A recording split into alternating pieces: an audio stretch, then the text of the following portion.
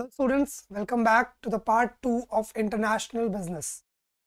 So students, hopefully आपको याद होगा uh, the previous lecture we have discussed about the various aspects of international business. तो देखो international business के बारे में हमने ये पढ़ा कि इंटरनेशनल बिज़नेस क्या है राइट right? और इंटरनेशनल बिज़नेस को शुरू करने के लिए तो सबसे बेसिक प्रिक्विसिट है विच वाज ग्लोबलाइजेशन हमने ग्लोबलाइजेशन पढ़ा and then we have discussed कि अलग अलग टाइप का ग्लोबलाइजेशन कौन कौन सा हो सकता है राइट आज के इस लेक्चर में we will discuss more about कि ग्लोबलाइजेशन होने से पॉजिटिव इम्पैक्ट्स क्या होते हैं, क्या उसके नेगेटिव इम्पैक्ट्स होते हैं और जब हम कोई भी इंटरनेशनल बिज़नेस करते हैं तो उसके पीछे के क्या मोटिव्स हो सकते हैं और किस तरह की कॉम्प्लेक्सिटीज है जो इंटरनेशनल बिज़नेस में देखी जा सकती है राइट तो चलो, शुरू करते हैं फिर आज के बाद ओके okay. तो सबसे पहले हमें दिया हुआ है इंपैक्ट ऑफ़ ग्लोबलाइजेशन ठीक है? अब स्टूडेंट्स एक बात बताओ। What do you understand by the term impact अगर एक सेकेंड पेन ले लू, कौन सा कलर हाँ ये कलर तो दिख रहा है आपको। चलो, अगर मैं इंपैक्ट्स की बात करूँ तो आप इंपैक्ट वर्ड से क्या समझते लाइक फॉर एग्ज़ाम्पल मैं आपसे बोल रहा हूँ कि यार it was a very like like very impressive impact ठीक है, उस पर्सन का एक बहुत इंप्रेसिव इम्पैक्ट था। क्या मतलब हुआ? मैं पॉजिटिव की बात कर रहा हूँ। तो इम्पैक्ट का मतलब है असर। असर तो देखो, किसी भी चीज़ का अच्छा भी हो सकता है, ठीक है, और किसी भी चीज़ का जो असर है, वो बुरा भी हो सकता है। और देखो, एक बात आप लोग समझो, आप लोग ग्रेजुएशन के स्टूडेंट्स हो, आप इस बात को समझो that every coin has two face है ना? हर एक कॉइन के दो फेस होते हैं राइट तो अच्छा भी है, बुरा भी है। दुनिया में जितनी भी चीज़ें हैं, उसका अच्छा भी है और उसका बुरा भी है। तो अगर ग्लोबलाइजेशन हो रहा है, अगर इंटरनेशनल बिज़नेस जैसी चीज़ें एग्जिस्ट हो रही हैं तो उनका फ़ायदा है, बिल्कुल है, लेकिन उनका नुकसान भी है। तो जो टॉपिक आज हम पढ़ेंगे पहले, हम उसमें यही डिस्कस करेंगे कि इंटरनेशनल बिज़नेस के पॉजिटिव इंपैक्ट्स क्या हैं at the same time international business के नेगेटिव इंपैक्ट्स क्या है। तो हम डिटेल में वन बाय वन हर एक पॉइंट को डिस्कस करेंगे। तो चलो, सबसे पहले हमें दिया हुआ है harmonious relation among countries now what do we understand by harmonious relation मैं आपसे आज तक मिला ही नहीं। मेरी और आपकी कभी कोई बात ही नहीं हुई है। तो ऐसे में हम दोनों के बीच में किसी तरह का कोऑर्डिनेशन किसी तरह की अंडरस्टैंडिंग ठीक है? किसी तरह की एकजुटता कैसे आएगी? नहीं है। अगर मैं अब आपके साथ बात कर रहा हूँ, क्योंकि देखो, मैं तो वीडियो लेक्चर्स के थ्रू आपको पढ़ा रहा हूँ राइट आप लोग हैं जो मुझे देख रहे हैं, आप लोग मुझे सुन रहे हैं तो हो सकता है, भाई मैं भी दिल्ली में रहता हूँ, आप में से भी काफ़ी लोग दिल्ली में रहते होंगे, हो सकता है कि कभी मैं ट्रैवल कर रहा हूँ किसी एक पर्टिकुलर एरिया में, ठीक है? और आप में से कोई मुझे दिख जाए, आप में से कोई मुझे दिख गया, आप मुझे पहचान जाओगे, आप मुझे ग्रीट कर दोगे, आप मुझे बता दोगे कि हाँ सर, हमने आपके इस वीडियो लेक्चर के थ्रू ये सब्जेक्ट जो था, ये टॉपिक कवर किया था। राइट? तो वहाँ एक हारमोनी आ जाएगी हमारे लिए एक दूसरे के टूवर्ड्स तो सबसे पहले हम समझते हैं what is the meaning of harmony harmony को मैं अगर नॉर्मल सी भाषा में बोलूँ तो एक जुटता अब क्योंकि आप देखो, आपके जो करंट प्राइम मिनिस्टर है मिस्टर मोदी जी, वो कंट्री कंट्री जा रहे हैं अलग अलग लोगों से बात कर रहे हैं। मुझे अभी कोई पॉलिटिकल एंगल इसमें नहीं देखना। मैं इकोनॉमिक्स का स्टूडेंट हूँ, हम बिज़नेस की बातें कर रहे हैं। तो हम जो है, हम सीधा पढ़ना चाहते हैं इकोनॉमिक्स समझाओ इसके पीछे की क्या फ़ायदा है उनके जाने का, क्या नहीं। तो स्टूडेंट्स बहुत सिंपल सी बात है। अब जब वो दुनिया के अलग अलग देशों में जा रहे हैं तो एक रिलेशन बिल्ड हो रहा है। से एक जुटता आ रही है। अब इंडिया में कुछ भी होता है तो हम देखते हैं कि फॉरेन से इतने बड़े बड़े मिनिस्टर्स हैं जो हैं, वो अपनी सिंपैथी अपनी एम्पथी उस चीज़ को शो करते हैं, अपने कंडोलेंस को ग्रेटिट्यूड को शो करते हैं, अच्छे इवेंट होते हैं तो उसमें पार्टिसिपेट करते हैं हारमनी तो जब आप इंटरनेशनल बिज़नेस में आते हैं, जब आप ग्लोबलाइजेशन करते हैं तो एक कंट्री दूसरी कंट्री की चीज़ों को समझती है, जानती है और एट टाइम्स उस चीज़ के लिए, उस चीज़ से लड़ने के लिए, उस चीज़ से बाहर आने के लिए एक दूसरे की मदद करती है. जो पहला पॉइंट है हमारे पास वो यही है harmonious relation among countries countries को सबसे पहला फ़ायदा होता है। तो जरा पढ़ते हैं क्या लिखा है? With globalization we see that the countries are becoming interdependent on each other trying to create a conducive environment where all can reap the benefit of economic growth यहाँ पे बेनिफिट में ठीक है अपनी स्टूडेंट्स प्लीज़ टाइपोस के लिए थोड़ा आप एडजस्ट कर सकते हो। टाइपिंग इतनी सारी होती है तो कभी कभार गलती हो जाती है। तो benefit of economic growth and development this has facilitated smooth and peaceful relation जब तक बात ही नहीं होगी, तब तक हमारा स्मूथ और पीसफुल रिलेशन कैसे आएगा? तो बात हुई तो एक स्मूथ और पीसफुल रिलेशन आया। चलो। नेक्स्ट है डिलाइट फॉर कस्टमर्स भाई कस्टमर के लिए तो अच्छा ही है। क्यों अच्छा नहीं है? भाई, आज हम देख पाते हैं क्योंकि ग्लोबलाइजेशन है तो प्यूमा ठीक है एडिडास नाइकी और बाटा ठीक है, और एच एन एम ठीक है जारा पता है दुनिया भर के कितने ब्रांड्स हैं जो आज आप अपनी होम कंट्री में ले सकते हो। मतलब इतने बड़े बड़े जो ब्रांड्स हैं जिनकी बहुत एक्चुअली में फाइन क्वालिटी की जो चीज़ें बनाते हैं आज हम अपनी होम कंट्री में इन सारे चीज़ों का जो बेनिफिट्स है वो ले सकते हैं। इजेंट इट राइट कैसे? क्योंकि ग्लोबलाइजेशन है तो वो कं, वो कंपनीज़ जो अपनी डोमेस्टिक कंट्री के अंदर उनके तो वो डोमेस्टिक ही हो गया। वो उन कंट्रीज़ में ऑपरेट कर रही थी I think Zara is from Spain I think मेरे ख्याल से मोर देन 90 95 परसेंट चांसेस है कि वो स्पेन से ही है। तो वो कंपनी स्पेन में थी। बट आज इंटरनेशनली देखो कितना बड़ा फेम है जारा का। यूथ के बीच में एक बहुत बड़ा स्टाइल आइकन जैसे होता है ना तो जारा के जो कपड़े एकदम बिल्कुल ट्रेंड सेटर ही होते हैं, है ना? क्यों? आपको बेनिफिट कैसे? क्योंकि ये चीज़ हो रही है कि कंपनीज़ एक जगह से, अब वो जो जो स्पेन की कंपनी कहा यूरोप में है। वो यूरोप से उठ करके कहाँ पे आई है? इंडिया में ऑपरेट कर रही है। And of course it has gain popularity among the youngsters तो दैट इज़ द आइडिया कि कस्टमर्स को फ़ायदा है कि कस्टमर्स को एक ही जगह बैठे हुए बहुत तरह तरह के अच्छी क्वालिटी के गुड्स मिल जाते हैं राइट ठीक है। तो अब जरा पढ़ते हैं। As domestic and international company compete with each other in this globalization sphere it is the it is the consume who are getting benefit it is the consumers who are getting benefit out of it The consumers have access to more variety, superior quality and technology, advanced goods and that too competitive price अब students एक बात समझना। देखो मैं ना इस चीज़ के कभी भी फेवर में नहीं हूँ कि बहुत महँगा है तो अच्छा ही होगा। देखो एक पर्टिकुलर टाइम के बाद ना आ, सिर्फ़ ना एक पर्टिकुलर टाइम के बाद वो सिर्फ़ नाम का पैसा है not that of quality after like एक एक एक लाइक स्टैंडर्ड के बाद, एक स्टैंडर्ड प्राइस के बाद, वो जैसे अपने नाम का पैसा ले रहे हैं, आप उसको कितना भी पैसा दे दो, उससे कोई फ़र्क नहीं पड़ता। लाइक जैसे लुई विटो एक ब्रांड है। अब लुई विटो की सारी चीज़ें बहुत महँगी है। माना बहुत अच्छा होगा ब्रांड मैं इस बात के ऊपर कोई क्वेश्चन नहीं कर रहा that Louis Vuitton is not a good brand but यार, पंद्रह हज़ार रुपए के गॉगल्स पच्चीस पच्चीस हज़ार रुपए की जीन्स आप भी कॉमर्स के स्टूडेंट्स आप इस बात को समझते हैं।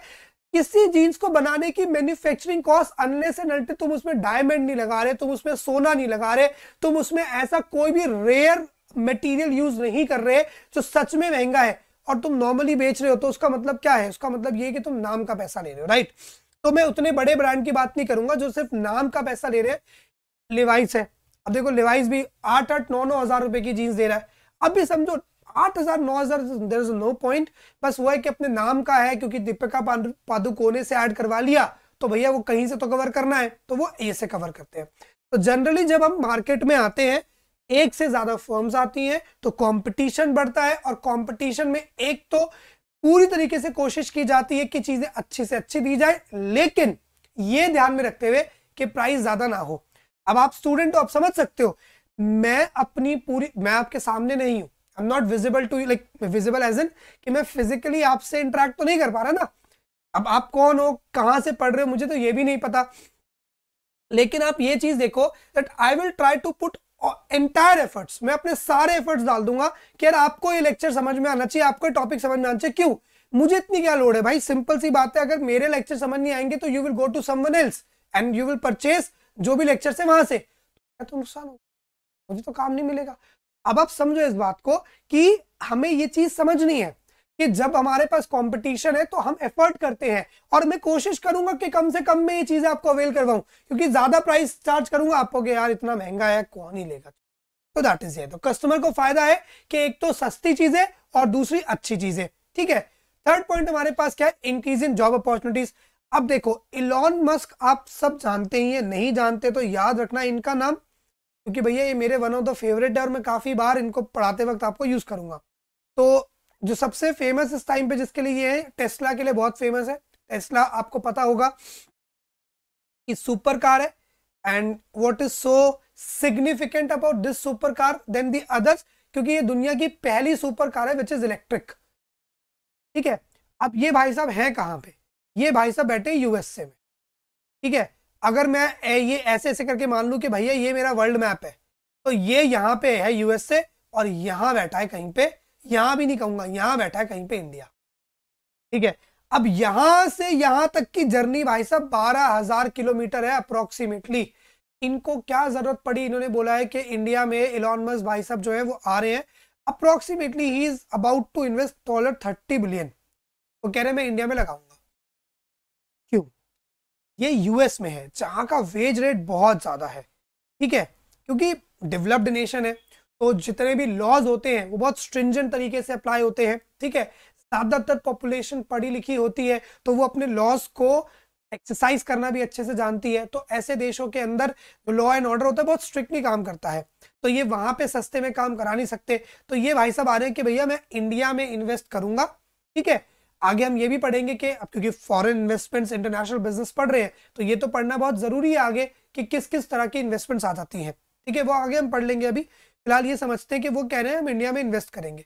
अब वो इंडिया में जब अपना प्लांट लगाएँगे तो चलो मैं ये मान लेता हूँ कि जो बहुत एडवांस मशीन्स हैं, वो कहाँ से आ जाएँगी जी? वो भी यूएस से आ जाएँगी। ठीक है, जो बहुत बड़ा टेक्निकल स्टाफ होगा जो मतलब बहुत ज़्यादा जिनको नॉलेज होगी, समझ होगी, वो भी कहाँ से आ जाएगा? मतलब जो हाईली स्किल्ड होगा, जो कम प्रोजेक्ट हेड होगा, कि जो पूरा प्लान देखेगा सीई e होगा तो जो स्किल्ड होगा स्किल्ड स्टाफ सॉरी वो भी कहाँ से आ जाएगा? यूएसए से।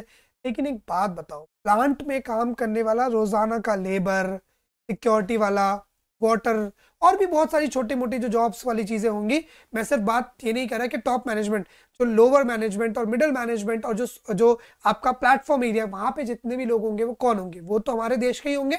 तो दैट मीन्स जब इस तरीके से इंटरनेशनल बिज़नेस दूसरे देशों में किए जाते हैं तो वहाँ से स्टूडेंट एक बहुत सिग्निफिकेंट एम्प्लॉयमेंट अपॉर्चुनिटी क्या होती है? जनरेट तो दैट इज़ राइट चलो। सॉरी ओके आगे हम बात करते हैं किसकी? टैपिंग न्यू मार्केट्स अब न्यू मार्केट्स कैसे? अब ये तो आपको बहुत इजी समझना ना, यही बात है ना, पहले भाई साहब अपनी गाड़ियों को यूएस में बेच रहे थे। अब वो कह रहे कि भैया यूएस में तो गाड़ियाँ बिकली जितनी बिकनी थी, बाकी आके बिकती रहेगी। और क्या करें? चलो भैया इंडिया चलते हैं, चलो भैया चाइना चलते हैं, चलो भैया इंडोनेशिया चलते हैं जापान चलते हैं, ठीक है? ताइवान चलते हैं, ऐसे करके ये अपना सारा का सारा जो रूट्स है, अब ये जितनी भी हमारी एशियन कंट्रीज़ है, उसमें फैलाते जाएँगे। तो एक फ़ायदा ये हो गया कि आप नई मार्केट को अब आप क्या कर पाते हो स्टूडेंट्स एक्सप्लोर कर पाते हो। ये आपको फ़ायदा होगा। राइट आगे क्या है? इंटरनेशनल सिस्टम्स अब ये इंटरनेशनल सिस्टम्स का मतलब क्या है? देखो, क्योंकि ये हमने पहले भी पढ़ा था, अगर थोड़ा सा आप रिकॉल करो तो क्योंकि आप अपना बिज़नेस एक कंट्री से दूसरी कंट्री में लेकर के जा रहे हो तो आपको यहाँ पे समझना पड़ेगा कि आप नए नए कल्चर से मिलते हो, नए पॉलिटिकल सिस्टम से मिलते हो, नए माइंडसेट से मिलते हो राइट तो इससे ना होता क्या है? इससे सबसे बड़ा फ़ायदा ये होता है कि डिफरेंट रिलीजन डिफरेंट कल्चर के लोगों को इक्वल ट्रीट करने की आप में कैपेबिलिटी आती है। क्यों? जैसे कि मान लो मैं एक पर्टिकुलर पर्सन हूँ मैं अभी अपने देश में बिज़नेस कर रहा हूँ। क्यों? क्योंकि मैं अपने देश में बिज़नेस कर रहा हूँ। अब देख, आप, अब आप, क्योंकि आप मैक्सिमम स्टूडेंट्स जो हैं, वो इंडिया से हैं और मैं ये एज्यूम कर रहा हूँ कि जो मैक्सिमम हमारे स्टूडेंट्स हैं वो नॉर्थ इंडिया से हैं। तो एक चीज़ है नॉर्थ इंडिया के बारे में अगर एक चीज़ मैं आपको बताऊँ तो नॉर्थ इंडिया में अलग अलग स्टेट्स तो हैं डिफरेंट डिफरेंट सिटीज़ तो हैं बट और सबके अपने कल्चर भी अलग है। बट एक चीज़ कॉमन आप नोटिस कर लेना स्टूडेंट्स पूरा नॉर्थ इंडिया यूनाइटेड है एक पर्टिकुलर चीज़ से। सोचो क्या, अब ये मत बोलना इंडिया जनगणमन नहीं। पूरा नॉर्थ इंडिया एक तरीके से यूनाइटेड है स्टूडेंट्स किस से आप नॉर्थ के किसी भी रीजन में मैक्सिमम की बात कर रहा हूँ, एकदम स्पेसिफिक नहीं बात कर रहा, हिंदी। आप गुजरात में जाओ, गुजरात के लोगों को हिंदी आती है। आप राजस्थान में जाओ, राजस्थान के लोगों को हिंदी आती है, हरियाणा के लोगों को हिंदी आती है, पंजाब के लोगों को हिंदी आती है वेस्ट बंगाल के लोगों को हिंदी आती है, यूपी के लोगों को हिंदी आती है, बिहार के लोगों को हिंदी आती है, सिक्किम में भी काफ़ी हद तक लोगों को हिंदी आती है, मणिपुर के भी काफ़ी पार्ट में लोग हिंदी जो है क्वाइट थोड़ा अंडरस्टैंड करते हैं। बिल्कुल जो नॉर्दर्न ईस्टर्न बिल्कुल हो गया, वहाँ पे थोड़ा लोग कम समझते हैं बट बिल्कुल एक्सट्रीम में जाके। बट वहाँ से लेके यहाँ तक अगर आप पूरा देखो और including the middle portion like Madhya Pradesh, Maharashtra तक भी, यही प्रॉब्लम किस चीज़ की साउथ की। आप साउथ में जाओ साउथ में अगर आप केरला में हैं तो केरला के लोग सिर्फ़ मलयालम समझते हैं। ज़्यादातर हिंदी नहीं समझते और इंग्लिश समझेंगे। ठीक है? और जिनको इंग्लिश नहीं आती तो फिर सिर्फ़ मलयालम। आप तमिल में जाओ, तमिलनाडु के अंदर तो वो सिर्फ़ और सिर्फ़ तमिल समझेंगे। आंध्र प्रदेश में जाओ तो वो सिर्फ़ तेलुगु समझेंगे।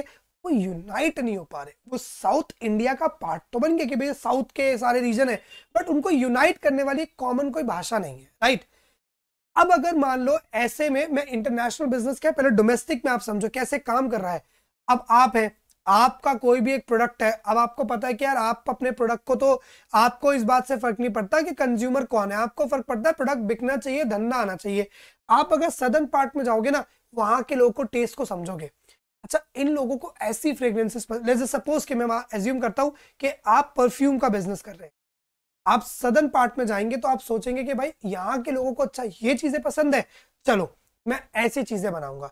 अच्छा यहाँ के लोगों को ये चीज़ें पसंद है तो मैं इस तरह के परफ्यूम्स बनाऊँगा, इस तरह की बॉटल्स को यूज़ करूँगा। That is how it work students कि जब आप इंटरनेशनल बिज़नेस में किसी और कंट्री में जाते हैं तो आप उन इंटरनेशनल सिस्टम्स को समझ के हर एक कल्चर हर एक पॉलिटिकल व्यू हर एक ट्रेडिशन को क्या करते हैं? रिस्पेक्ट समझ करते हैं क्योंकि आपको अपना बिज़नेस चलाना है। डुबाना नहीं है राइट चलो नेक्स्ट है अवेलेबिलिटी ऑफ़ कैपिटल देखो अब यहाँ पे हमारे पास दो टर्म्स आ गई ठीक है? मैं कहा था आगे हम पढ़ेंगे तो अब जरा हम इन दो टर्म्स को पढ़ लेते हैं। मैं आपके लिए हाईलाइट कर देता हूँ पहले ये दो टर्म्स देखो क्रॉस होने लग गया एक मिनट। ओके तो ये देखो आ, काफ़ी स्टूडेंट्स जो ऑलरेडी वीडियो देख रहे हैं उनमें से काफ़ी स्टूडेंट्स को पता होगा क्योंकि ट्वेल्थ स्टैंडर्ड से ये जो टॉपिक है, ये आपके पास कॉन्टिन्यूसली एग्ज़ाम्स में आ जाता है राइट ट्वेल्थ स्टैंडर्ड के अंदर से। बट स्टिल मैं आपको ये दोनों टर्म पहले क्लियर कर दूँ। ये बहुत ज़्यादा ज़रूरी है आपके लिए समझना, क्योंकि जब आप ये समझेंगे, तभी आप आगे चीज़ें समझ पाए तो जब हम फॉरेन में इन्वेस्टमेंट करते हैं, या फॉरेन से इन्वेस्टमेंट आती है तो वो दो फॉर्म्स में आती है स्टूडेंट्स राइट एक आती है फॉरेन डायरेक्ट इन्वेस्टमेंट, ठीक है? एक आती है फॉरेन इंस्टीट्यूशनल इन्वेस्टमेंट। ठीक है? इसे आप बोलेंगे एफ़ आई आई, इसे बोलेंगे आप एफ़ डी आई। अच्छा जो एफ़ आई आई होता है, इसी को एक और नाम से जाना जाता है student which is called portfolio investment से हम पोर्टफोलियो इन्वेस्टमेंट के नाम से भी जानते हैं। अब होता क्या है? These days shark tank India is quite famous मतलब सम वे और दी अदर आप अगर नहीं एक उसके एक्टिव मतलब एक्टिव व्यूअर हैं तो कहीं ना कहीं आपने कभी कभार यूट्यूब शॉर्ट्स में या इंस्टा रील्स में कहीं ना कहीं उसको कभी कभार देख ही लिया होगा। तो नहीं भी देखा तो मैंने क्यों नाम लिया है? बहुत से स्टूडेंट्स अभी रिलेट कर पाएँगे कि मैंने शार्क टैंक इंडिया का नाम क्यों लिया। क्योंकि ना शार्क टैंक इंडिया के आने के बाद से ना ये जो वर्ड है इक्विटी और एक जो वर्ड है डेट ये ना बहुत ज़्यादा कॉमन हो गया है। मतलब लाइक आई लाइक अगर मैं ऑब्ज़र्व करता हूँ I I am observing many of the students तो ना लाइक इलेवेंथ ट्वेल्थ स्टैंडर्ड में कभी कभार अगर बात करने के लिए, कुछ पूछने के लिए भी आ जाते हैं तो इस तरीके से बोलते हैं, सर इक्विटी क्या है? डेट क्या है? फन में यूज़ करते हैं। तो उससे कोई प्रॉब्लम नहीं है। But the thing is that they are learning वो समझ रहे हैं कि इक्विटी नाम की कोई चीज़ है और डेट नाम की चीज़ है, क्या होता है मान लो, अभी जैसे हमने इलॉन मस्क सर की बात करी तो मान लो इलॉन मस्क सर जो है, वो कहें कि भाई मुझे इंडिया में 30 बिलियन डॉलर इन्वेस्ट करना है। और Indian government suppose Indian government और उनके बीच में जो भी ट्रेड एग्रीमेंट्स होते हैं, उन सबको एग्रीमेंट को एग्री करते हुए वो कहें, मैं इन्वेस्टमेंट करने को तैयार हूँ। एंड मैं टेस्ला के लिए इन्वेस्ट करूँगा और ये टेस्ला के लिए जो मैं इन्वेस्टमेंट करूँगा, उसके लिए मैं एक प्लांट बनाऊँगा, जो प्लांट क्या करेगा? मैन्युफैक्चर करेगा टेस्ला की गाड़ियाँ कहाँ पे? इंडिया में। ठीक है? और ये प्लांट की दो चीज़ें मतलब इक्विटी मतलब ओनरशिप जो आपने इलेवेंथ क्लास बिज़नेस स्टडीज़ में पढ़ा होगा कि जो इक्विटी शेयर होल्डर्स होते हैं they are the real owners of the company वो कह रहे हैं कि इक्विटी तो मैं होगा रहूँगा, लेकिन मैनेजमेंट भी मेरी होगी। आप स्टूडेंट्स इस बात को समझते होंगे अज्यूम कर रहा हूँ कि आप कॉमर्स के स्टूडेंट पिछले तीन चार सालों से हैं तो आप इस बात को समझते हो कि शेयर कैपिटल में जब मैं शेयर कैपिटल की फॉर्म में जब मैं पैसा लगाता हूँ तो उससे मुझे ओनरशिप तो मिल जाती है, लेकिन मैं मैनेजमेंट नहीं कर पाता राइट क्योंकि आप रिलायंस कंपनी के, आप अडानी के, आप आदित्य बिरला ग्रुप के, आप टाटा के, आप विप्रो के, आप एचसीएल के इंफोसिस के, इन सब के शेयर्स खरीद सकते हैं, लेकिन इसका मतलब ये नहीं है कि आपको कंपनी मैनेजमेंट के लिए बुला लेगी। तो जब आप किसी भी कंट्री के अंदर, उनकी किसी कंपनी में इक्विटी को बाय करते हो, सिर्फ़ इक्विटी मतलब क्या? ओनरशिप बाय करते हो, आपको लगता है कि भाई टाटा कंपनी बढ़िया कंपनी है, या बायजूस अच्छी कंपनी है, या फिजिक्स वाला बहुत ज़्यादा चल रहा है, या अन अकेडमी बहुत ज़्यादा चल रहा है, या कोई भी इस तरीके की आप कंपनी देखते हो और उस कंपनी के अंदर कुछ इक्विटी बाय कर लेते हो, कुछ हिस्सा बाय कर लेते हो उस कंपनी का तो उसे क्या कहा जाता है? उसे कहा जाता है फॉरेन इंस्टीट्यूशनल इन्वेस्टमेंट जहाँ पे आपने क्या किया?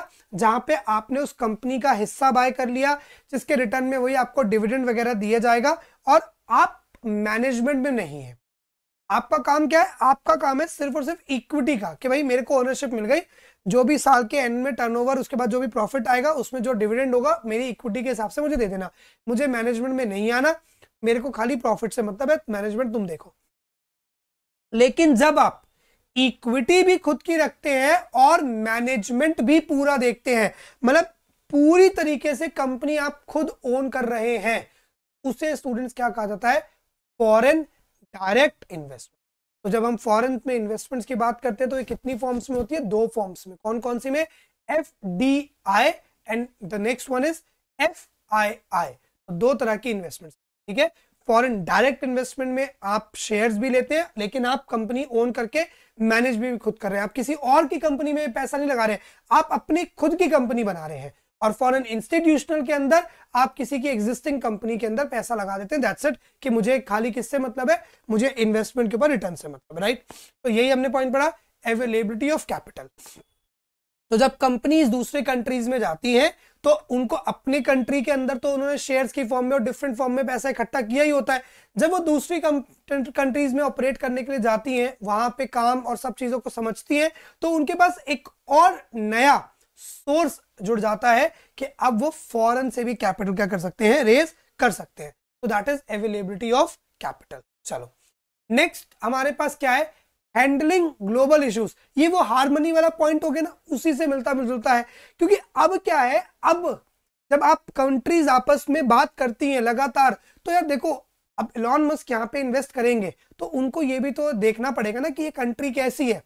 कंट्री के इश्यूज़ क्या है तो हो सकता है कि कंट्री में कोई भी इशू होगा तो उस इशू को सॉल्व करने के लिए उस प्रॉब्लम के ऊपर कुछ ना कुछ बोलने के लिए वो अपनी तरफ़ से फंडिंग अपनी कोई एडवाइस या अपनी तरफ़ से कोई ना कोई एक्शन लेंगे तो जैसे कि यहाँ पे लिखा हुआ है there were various problems such as terrorism, environment protection, human trafficking, which the countries were dealing at their own level. With globalization, the countries have realized these problems are not common to all. So, these problems are common to all and as a result have joined hands to solve these problems. अब terrorism है। किसका problem है? क्या US का problem है? क्या India का problem है? या फिर क्या वियतनाम का प्रॉब्लम है? क्या ऑस्ट्रेलिया का? क्या क्या सबका है? क्योंकि टेररिज्म जो है, वो किसी भी कंट्री के अगेंस्ट नहीं है। ठीक है? उनको है कि बस पूरी दुनिया में सिर्फ़ जो हम चाह रहे हैं वो माने तो वो हर कंट्री के ही अगेंस्ट एक तरीके से। राइट पर्टिकुलरली नहीं कि उनको कनाडा ही चाहिए या उनको इंडिया ही चाहिए, ऐसा नहीं है। उनको है कि पूरा दुनिया जो है सिर्फ़ हमारी ही बात माने दैट्स इट तो सबकी प्रॉब्लम है। क्योंकि जब वो टेररिज्म अपनी एक्टिविटी टेररिस्ट एक्टिविटीज़ पे आते हैं तो वो बॉम्ब ब्लास्ट करते हैं कहीं भी। उनको इस बात से फ़र्क नहीं पड़ता कि वो स्पेन है फ्रांस है इटली है जर्मनी है, वो वो करते हैं। तो ये चीज़ें आती हैं। नॉलेज शेयरिंग क्यों? जब इलॉन मस्क यहाँ पे आके इन्वेस्ट करेंगे ठीक है, जैसे हमने बोला एफडीआई की फॉर्म में या एफआईआई की फॉर्म में, चलो एफआईआई की फॉर्म में करेंगे तो अब तो बहुत कम ही होगा, ठीक है? लेकिन स्टिल अगर एक पर्सन इतना बड़ा पर्सन किसी और कंपनी में पैसे स्टेक लगा रहा है तो वो भी तो उस कंपनी के अंदर वैल्यूएबल पर्सन होगा। आप शार्क टैंक में देखते नहीं हो कि वो लोग कहते हैं हम दो परसेंट इक्विटी पे भी काम कर लेंगे, तीन परसेंट इक्विटी पे भी काम कर लेंगे, और जो अपना बिज़नेस आइडिया लेके आता है वो क्यों दो परसेंट तीन परसेंट मानेगा? क्योंकि वो ये नहीं देखता कि दो परसेंट तीन परसेंट वो देखता है अच्छा अच्छा अच्छा मेरी कंपनी में अमन गुप्ता इन्वेस्ट कर रहा है। भाई, अमन गुप्ता ने अगर मेरी कंपनी में इन्वेस्ट किया भले ही दो परसेंट में किया, लेकिन ये अपना दो परसेंट निकालने के लिए भी मुझे टाइम टू टाइम एडवाइस करेगा गाइड करेगा राइट तो इसके ये होता है, जब इंटरनेशनली आप अपने ब्रांड को लेकर जाते हैं तो उससे फ़ायदा ये होता है कि जो डोमेस्टिक कंट्री होती है, उस डोमेस्टिक कंट्री का सबसे बड़ा फ़ायदा कि अलग अलग तरह की सोच एडवाइसेस जो है आपको मिलती हैं। तो नॉलेज शेयरिंग होती है। बूस्ट टू टूरिज़्म इंडस्ट्री अब जब इंटरनेशनली ब्रांड जाएँगे, आएँगे तो वो अपने वर्कर्स को भेजेंगे काम करने के लिए, सीखने के लिए। इससे होगा क्या? इससे मान लो लेट सपोज़ कि इलॉन मस्क यहाँ पे आए। इलॉन मस्क ने फिर क्या किया? अपनी कंपनी के टॉप मैनेजमेंट चार पाँच लोगों को लेके आए कि भाई तुम भी जाओ, तुम वहाँ पे प्रोजेक्ट हैंडलिंग करो। अब वो लोग यहाँ पे काम कर रहे हैं, काम करते करते घूमेंगे, देखेंगे तो लोगों को जाके बताएँगे अपनी कंट्री में, भाई, मैं तो अपनी कंपनी के काम से वहाँ पे गया था। भाई, बड़ी बेहतरीन कंपनी है। बड़ी बेहतरीन कंट्री है। चलो एक काम करता हूँ अब मैं अपनी फैमिली को लेके जाता हूँ। फैमिली फ्रेंड्स तो टूरिज़्म बढ़ता है क्योंकि आप तो ऐसे आइसोलेटेड रहोगे। अब एक सोच इसको छोड़ो।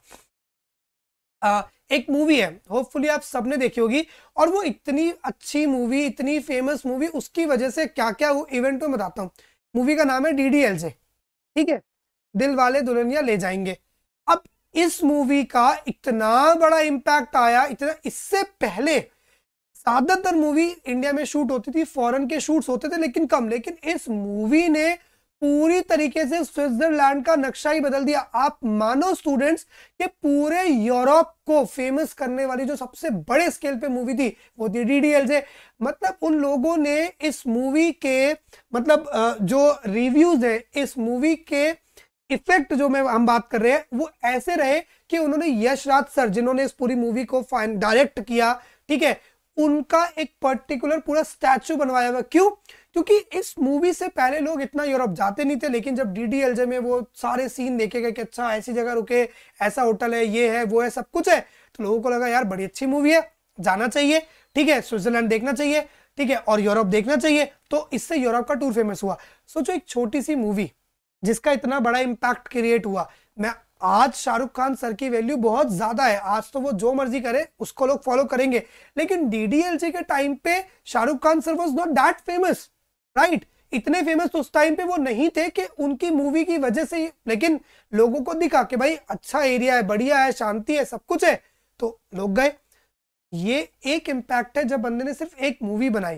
तो एक कंपनी जो सालों साल एक कंट्री में रहेगी, वहाँ पे एम्प्लॉय काम करने आएँगे, जाएँगे आएँगे, जाएँगे। सोचो how impactful it will be for the domestic tourism क्योंकि वो जाएँगे, बताएँगे कि इंडिया में ये अच्छा है, वो चीज़ें अच्छी है तो that is how it work right